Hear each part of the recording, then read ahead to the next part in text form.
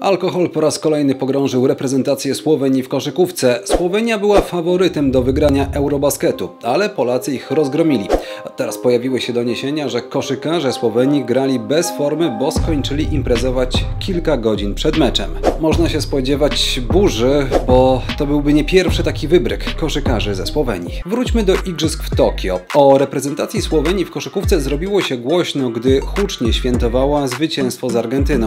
Był alkohol, fajki wodne, no i poker. Może sprawa nie wyszłaby na jaw, gdyby nie to, że zdjęcia zrobiła hiszpańska koszykarka i wszystko wrzuciła do sieci. Ale imprezować zdarzało się największym koszykarzom na świecie. Pewnego razu Michael Jordan miał na tyle intensywną zabawę z kilkoma kobietami w klubie nocnym, że kilka dni później prosił właściciela o nagrania z monitoringu. To było w późnych latach 90., a Jordan nie chciał, żeby filmy wpadły w niewłaściwe ręce.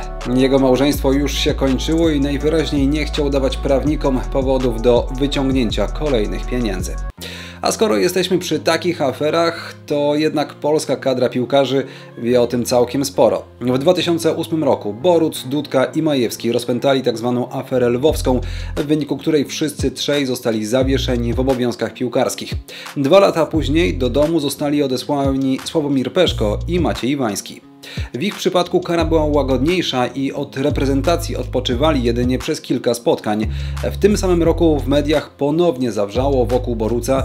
Tym razem polski bramkarz razem z Michałem Żewłakowem, ówczesnym kapitanem reprezentacji, pili alkohol w samolocie. No, wtedy PZPN zdecydował o odsunięciu ich od reprezentacji do czasu eliminacji do Mistrzostw Europy 2016. Sportowcem, który nie stronił od alkoholu był słynny kierowca James Hunt. W 70 1973 roku zaczął się ścigać w Formule 1, a już 3 lata później został mistrzem świata. W 1976 roku, reprezentując drużynę McLarena, wygrał klasyfikację generalną, zaledwie o punkt, wyprzedzając swojego największego rywala Nikiego Laudę.